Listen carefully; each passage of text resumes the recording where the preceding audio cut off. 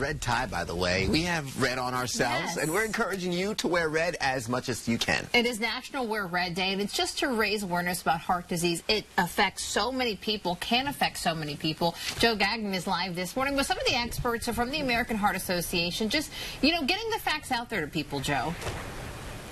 Uh, yes, indeed, because one of the easiest ways to try to cut down on heart disease is the amount of salt that you put in your food. And so we're with an amazing registered dietitian from Blush Nutrition. Brittany Jones is with us this morning. So good to see you, Brittany. How are you? You good? How are you? I'm doing super good. And so salt is a really big problem when it comes to people when they make dinner, isn't it?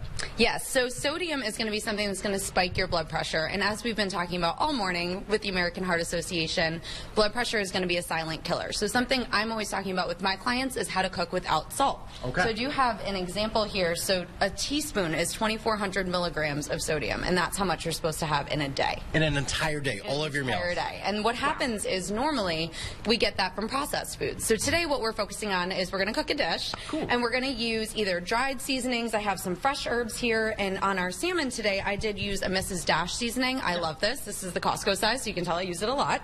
Um, and it's super easy to use. I'm all about quick and easy dinners. So that's what we're going to make here today. Because so many different seasonings, like Montreal steak seasoning or whatever, it's full of salt along with the seasoning. But Mrs. Dash and things like it have no salt. Yes, exactly. And you can make your own seasoning blends too. Cool. All right. Yeah. And so, what are we looking at here? What kind of food are we going to be making? Yes, so today we're going to make a super easy dinner. Um, this is something that I put together. It's from the American Heart Association website. We can send y'all the link for your viewers to see too. Nice. So it's an herbs veggie skillet. So all it is here, as you can see, is it's going to be some zucchini that's cut into half moons. It's got diced onion, diced bell pepper. It's got a little bit of roasted corn in there, and it is frozen corn. I want to point that out too, so to cut back on the sodium. Great. And then what we're going to do here is add in some seasonings. So Okay. we're just going to add a little bit of dried basil. Sounds we're going to add a little bit of marjoram in here, Mm-hmm. and then we're going to add a little bit of oregano. And then if you want to go ahead and put some pepper in there as well, Yes, indeed. Let's do this. you just kind of Just tell me saute. That looks awesome.